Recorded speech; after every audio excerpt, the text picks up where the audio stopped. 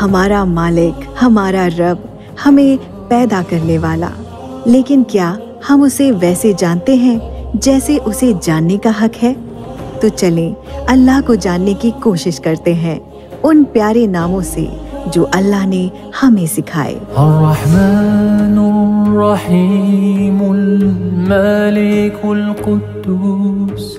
Attribute of Allah RJ Mavish के साथ।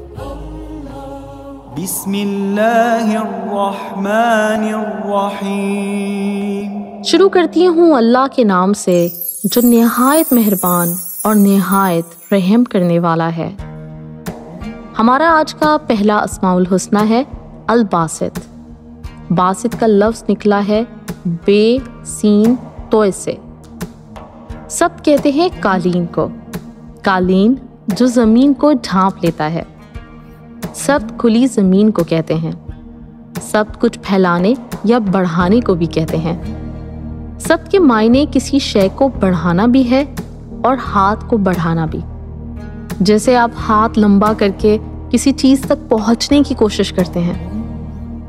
बासित उसको कहते हैं जो आगे बढ़े या वो जो किसी को आगे बढ़ा दे, किसी शय को फैला दे, किसी चीज़ में इजाफा कर दे। बासित काबिद का उलट है। काबिद इकट्ठा करने वाला, जबकि बासित फैलाने वाला। अल बासित हमारा रब है। वो फैला देने वाला, बढ़ा देने वाला रब है। वो कैसे बढ़ाता है? अल्लाह अल बासित के ही सारे खजाने हैं, छुपे हुए भी और ज़ाहिर भी। उससे मांगेंगे तो वो वो भी अदा कर सकता है, जहाँ आपका गुमान भी ना था। सब कालीन को कभी कभार फोल्ड करके रख दिया जाता है और वो सिमट जाता है। साइज़ उतना ही रहता है, बस फोल्ड हो जाने के बायस हमें महदूद सुखड़ा हुआ नज़र आता है। अलबासी जब चाहे उसे फैला दे।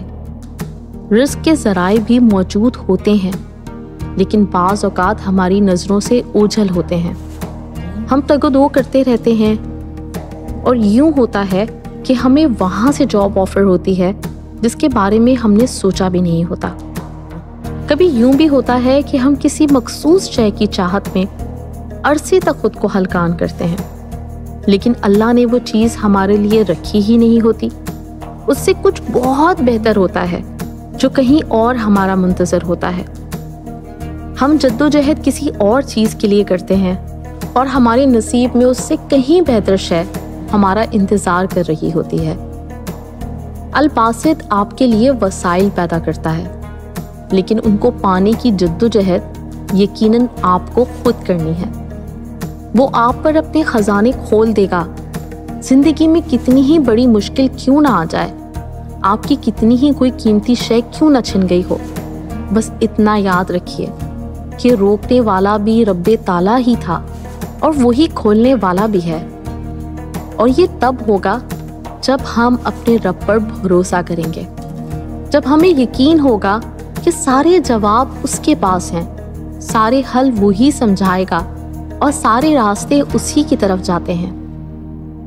अल्लाह अल समद वो जो जिसके हुक्म के बगैर कुछ नहीं हो सकता, वो जो जिसकी तरफ़ तमाम मामला भेजे जाते हैं, जिनके बारे में कोई और फैसला कर ही नहीं सकता।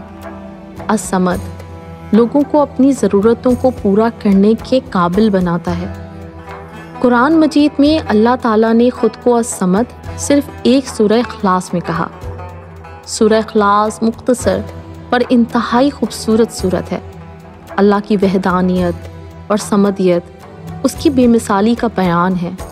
इखलास हमें बताती है, अल्लाह एक है और वही सबकी ज़रूरियात को पूरा करने वाला है। उसके सिवा किसी और से मदद हासिल नहीं हो सकती। अल्लाह के नाम अल कादिर वल मुक्तदर यानी मुकम्मल कुदरत वाला मतलब कुदरत रखता है। अल कादिर ही है जो हर चीज़ पर कुदरत रखता है। सारी कुदरतों का मालिक है।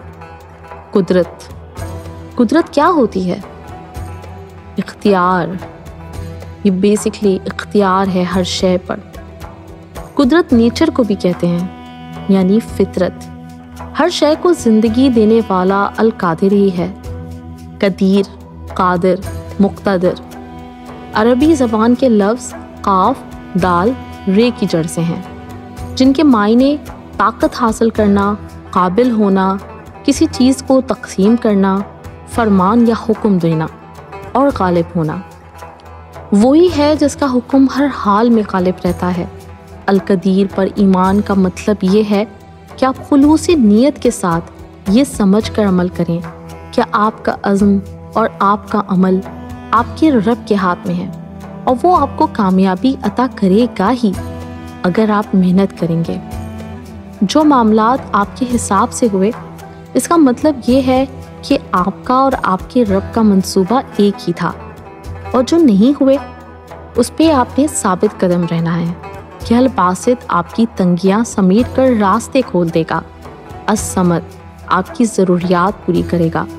अलकादिर, अलमुक्तदिर ही तमाम कुदरतों का मालिक है।